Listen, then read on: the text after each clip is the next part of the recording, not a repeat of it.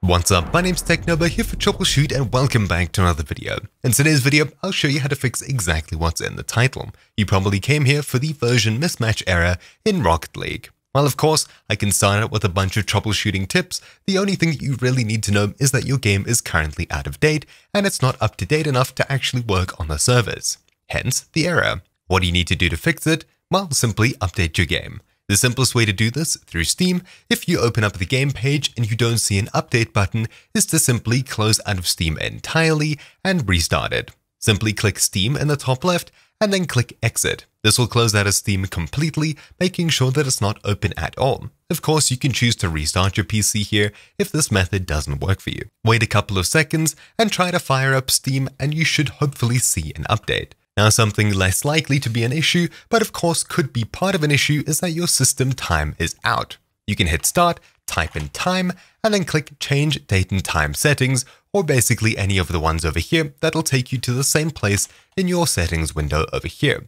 All you have to do is make sure that set time automatically is checked, otherwise uncheck it and set it on once again. This will update the time on your computer to match whatever time zone you have at the very bottom, or of course you can click sync now down here. After making sure that your computer time is up to date, we've probably waited just long enough for Steam to realize that there is an update as well. So you can hit start and reopen Steam as you usually would. This time when you head across to Rocket League on your games list, you'll probably notice an update is waiting for you. Otherwise, if you click play, you'll probably see an update starts right away. Now, of course, assuming the worst case scenario, you don't see an update available, what else can we do?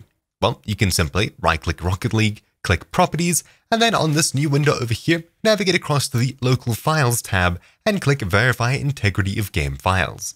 This will run through all of the files on your computer and update anything if it doesn't match the latest version that the server is currently running. With all of that out of the way, you should probably be able to play Rocket League now, assuming you actually received an update. Now, of course, if you're still receiving an error, do try to reach out to other people playing the game to see if they're experiencing the same thing. It's very unlikely, but there could be an issue on Rocket League's server side rather than yours, though that's incredibly unlikely. But anyways, that's about it for this video.